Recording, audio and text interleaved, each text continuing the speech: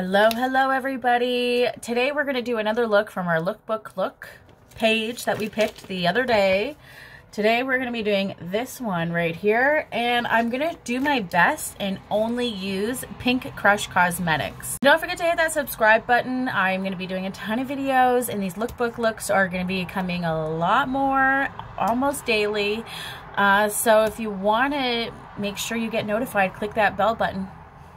I am wearing contacts today. I did get them from Robby Triple D Makeup. If you haven't checked her out, make sure you check her out. She has a ton of lashes and over 150 styles of contacts. Any kind of contact you can think of.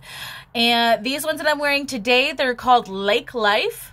They're super, super gorgeous. Uh, yeah, make sure you check her out, man. If you're looking for contacts, she is definitely your girl. Okay, my skincare routine is done. My face is glowing. I'm ready to get started with this look. I was also curious too, if you guys want me to talk during the while I'm doing the tutorials or you like having the music and just flipping through, let me know what you want and I'll do it that way. So this is my interpretation of the look right here. I hope you guys like it. I used four palettes from Pink Crush Cosmetics. We got the Hyperchrome, Metamorphosis, Phenomenon, and Day and Night.